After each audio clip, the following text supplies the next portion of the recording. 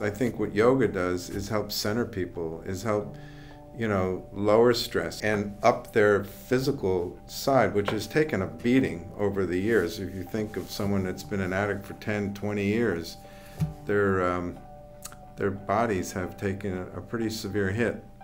And so to have all their organs and their limbs and their soul just have that chance to de stress and feel good about themselves physically like that and spiritually.